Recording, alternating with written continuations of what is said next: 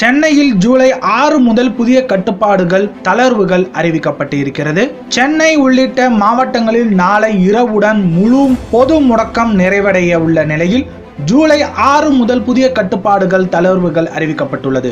நாளை நள்ளிரவுடன் முழு ஊரடங்கு முடிவடையும் நிலையில் திங்கட்கிழமை காலை முதல் கடைகள் திறப்பது குறித்து தமிழக அரசு புதிய கட்டுப்பாடுகளை அறிவித்துள்ளது. இது குறித்து தமிழக முதல்வர் எடப்பாடி கே. பழனிசாமி வெளியிட்ட அறிக்கையில் தமிழக அரசு கொரோனா நோய் தொற்றலில் இருந்து பொதுமக்களை பாதுகாத்து அவர்களுக்கு தேவையான நிவாரணங்களை வழங்கி முனைப்புடன் செயல்பட்டு வருகிறது. இந்தியா முழுவதும் கொரோனா வைரஸ் நோய் தொற்றை தடுப்பதற்காக தேசிய பேரிடர் மேலாண்மை சட்டத்தின் கீழ் ஊரடங்கு உத்தரவை இருபத்தி ஐந்து மூணு ரெண்டாயிரத்தி இருபது முதல் மத்திய அரசு அமல்படுத்தியதை தொடர்ந்து தமிழ்நாடு அரசும் தமிழ்நாடு முழுவதும் ஊரடங்கை அமல்படுத்தியது. தற்போது அதாவது ஆறு ஏழு ரெண்டாயிரத்தி இருபது முதல் மறு உத்தரவு வரும் வரை பெருநகர சென்னை காவல் எல்லைக்குட்பட்ட பகுதிகளில் கீழ்கண்ட கட்டுப்பாடுகள் விதிக்கப்படுகின்றன. சென்னையில் திங்கட்கிழமை காலை ஆறு மணி முதல் மாலை ஆறு மணி வரை காய்கறி மளிகை கடைகள் திறந்திருக்கலாம். அதேபோல் தேநீர் கடைகளும்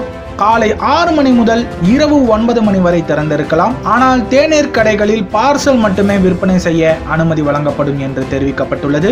வணிக வளாகங்கள் தவிர்த்து ஷோரூம்கள் பெரிய கடைகள் காலை பத்து மணி முதல் மாலை ஆறு மணி வரை ஏற்கனவே அறிவித்திருந்த வழிமுறைகளுடன் செயல்படலாம். சென்னை காவல் எல்லைக்குட்பட்ட பகுதிகளில் இயங்கும் உணவகங்களில் காலை ஆறு மணி முதல் இரவு ஒன்பது மணி வரை பார்சல்கள் மட்டுமே வழங்கப்படும். தொலைபேசி மூலம் ஆர்டர் செய்து வீடுகளுக்கு உணவு வழங்கும் சேவைகளுக்கு இரவு ஒன்பது மணி வரை அனுமதிக்கப்படுகிறது. காய்கறி கடைகள் மற்றும் மளிகை கடைகள் காலை ஆறு மணி முதல் மாலை ஆறு மணி வரை இயங்க அனுமதிக்கப்படும். மற்ற செயல்பாடுகள் ஜூன் பத்தொன்பதாம் தேதிக்கு முன் இருந்த கட்டுப்பாடுகள் மற்றும் தளர்வுகளுடன் இயங்கலாம். பொதுமக்கள் அரசின் முயற்சிகளுக்கு முழு ஒத்துழைப்பு நல்க வேண்டும் என கேட்டுக்கொள்கிறேன் என்று முதல்வர் தெரிவித்திருக்கிறார்.